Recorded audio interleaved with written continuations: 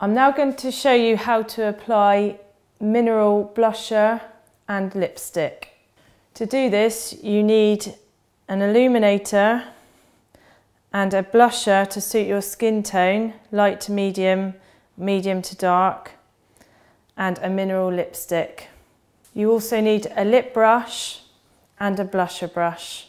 Firstly we'll use the blusher which you tip a small amount into the lid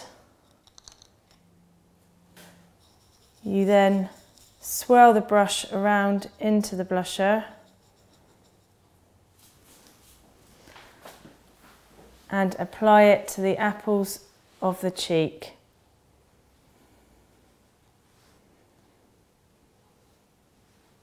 With the same brush and the illuminator, you again tap a small amount into the lid, put the brush into the product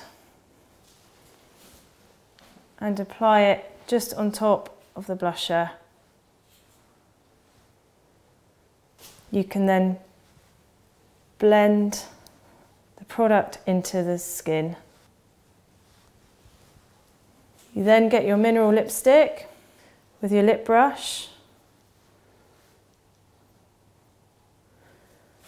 and apply to your lips.